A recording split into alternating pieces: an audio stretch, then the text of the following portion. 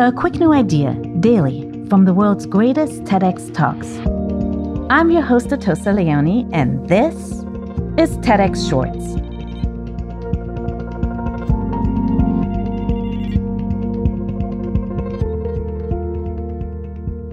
Do you think of a prison sentence as a punishment or an opportunity for rehabilitation?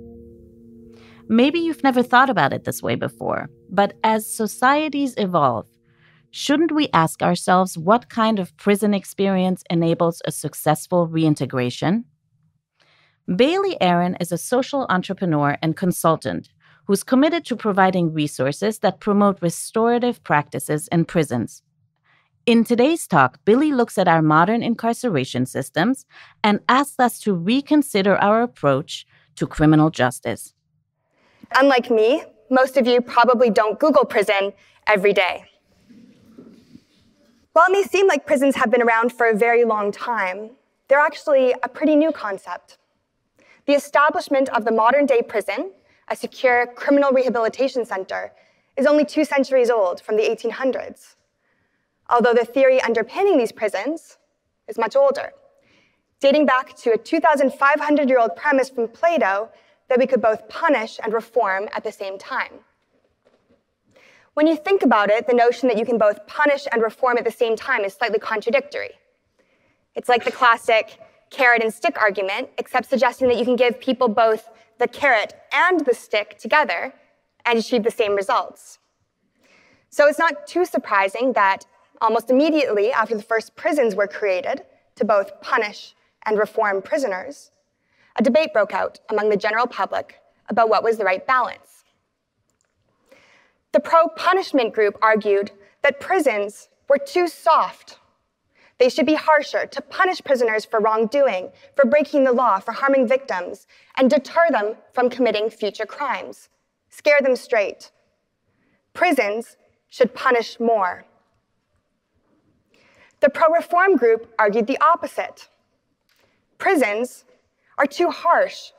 It's enough of a punishment to lose your freedom and be separated from society. Beyond that, prisons should be humane institutions of moral instruction and rehabilitation and should correct the behavior of prisoners so that once released, they'd be model citizens. Prisons should reform more. It's been nearly 200 years, yet, as you can see, the debate on whether prisons should punish more or reform more really hasn't changed that much. I'm aware I've just presented quite a few numbers, so if you only remember one from this entire talk, I hope it's this next one, that nearly every prisoner, 99.9% of them, will be released at the end of their sentence and will come back to society. So the question that that leaves us with is, what kind of prison experience do we want prisoners to have, given that they will be coming back? Noel is a Londoner born in the 1960s. At the age of 14, while skipping school with a friend, Noel was picked up by the burglary squad, and despite not having done anything wrong, he was beaten up by them. Noel says that his anger at this injustice led him to throw himself into crime, into an all out war that resulted in him spending much of his adult life locked up behind bars in a series of UK prisons. I spoke to Noel about his prison experience, what was it like? What did prison do for him?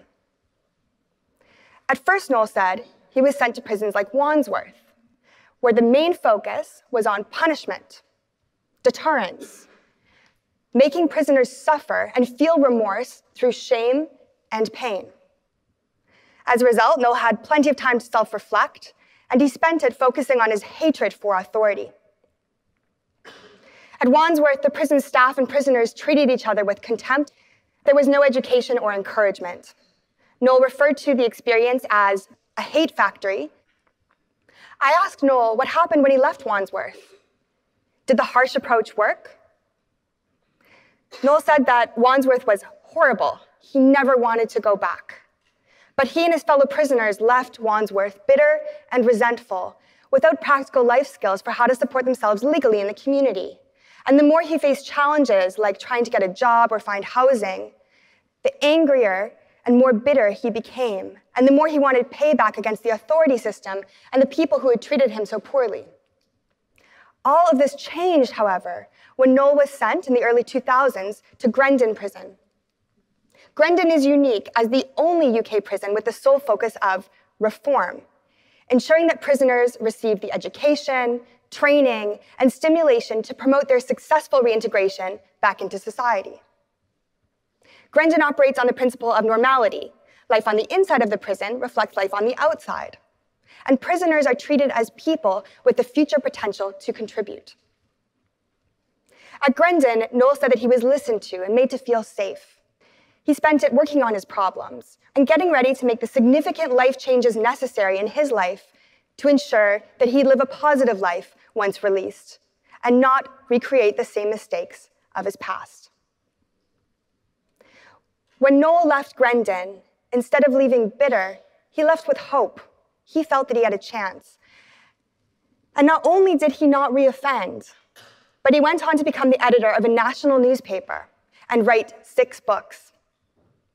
He pays taxes now and contributes positively to our society, the same as do you and I. For the collective good, are we ready to give up our desire for prisons that punish in favor of prisons that reform? Are we ready to build a reform prison system that is the benchmark for the rest of the world in effectively reducing reoffending? I think we're ready. So let's upgrade the standards of our prison system to a 21st century model for reforming people who've committed crime, rather than stagnate with a 2,500 year old Platonic concept. Baillie Aaron is the founder of Spark Inside, a London based charity pioneering the use of professional coaching in prisons to promote rehabilitation and assistance from crime. The TEDx talk you just listened to was recorded at a TEDx event in London, England.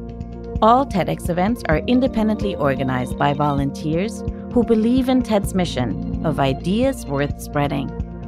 Special thanks to the organizing team at TEDx London Business School. Want to listen to the full talk? Find Baillie's talk and more at ted.com slash TEDxShorts. I'm Atossa Leoni. Thanks for listening and see you next time.